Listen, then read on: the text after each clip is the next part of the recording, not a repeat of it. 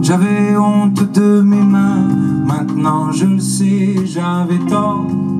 Je suis parti un matin, laissant mes roses éclore pressant le pas sur le chemin cherchant à contrer le sort. Je rêvais à ces dames qui tiendraient mes mains blanches comme celles des notables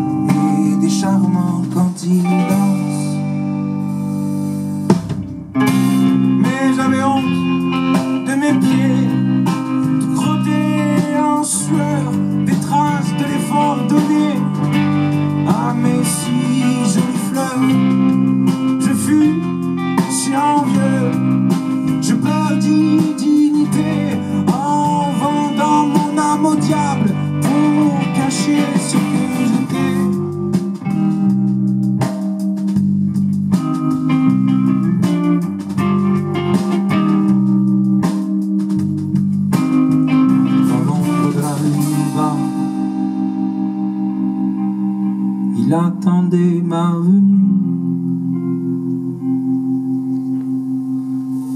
Mon pas se fit serein. Il ne m'était pas inconnu. Il m'offrit ses mains chaudes, un dandy bien vêtu,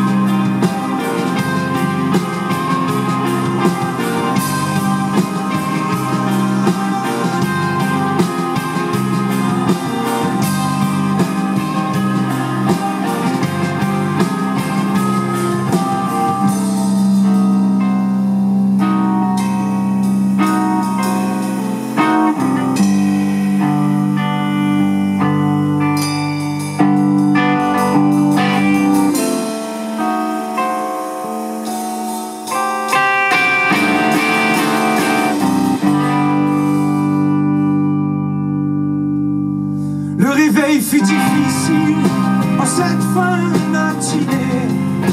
J'ai toujours honte de mes mains et mes fleurs sont.